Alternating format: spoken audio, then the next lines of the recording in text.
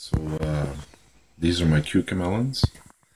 They're extremely hard to grow in Cape Breton and they just flowered. So what I'm going to try to do to uh, accelerate the fruiting process, I'm going to take this Q-tip, I'm going to find the male flower, which is supposed to have a little bump on it, which I think is one of these compared to the other ones that don't. You rub the male, and then you take the pollen and put it on the females. Now, hopefully this works.